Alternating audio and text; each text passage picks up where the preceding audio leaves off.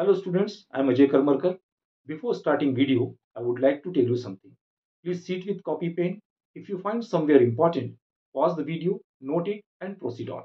If you find somewhere difficulty, then please write in comment box. I will definitely solve your problem.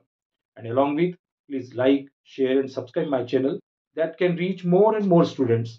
Thank you once again. Now here is the question. An ideal gas is expanding such that Pt square equal to constant. The coefficient of volume expansion of the gas is. Here we have given four options. Option A 1 by T, option B 2 by T, option C 3 by T and option D 4 by T. And this question is asked IIT JEE 2008.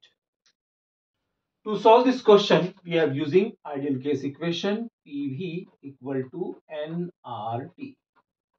P can be written as nRT upon V. We have given the condition Pt square equal to constant. Now substitute this value of P. What is the value of P? P? N R capital T upon V and T square equal to constant.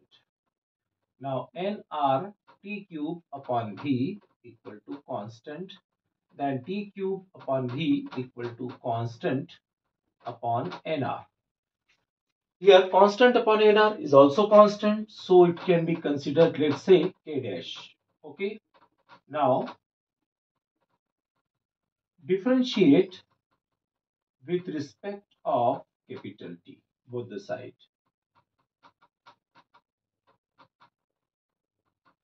Okay.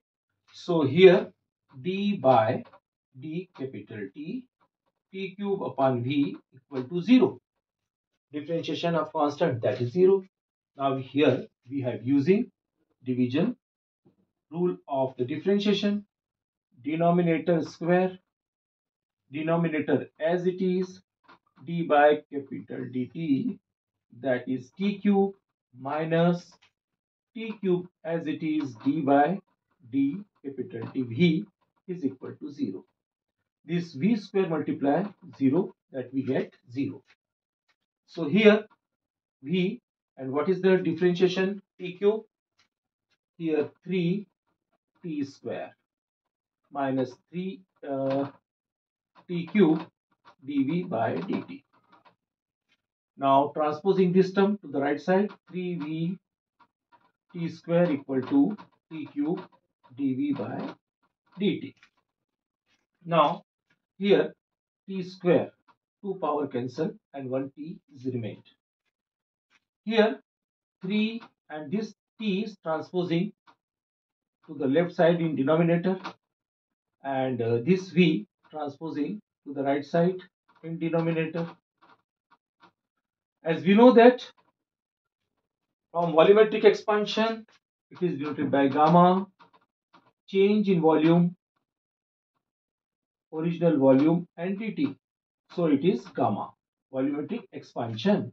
So here it can be written as gamma equal to 3 by T. This is our answer. Okay, let's see which option is matched here, 3 by T.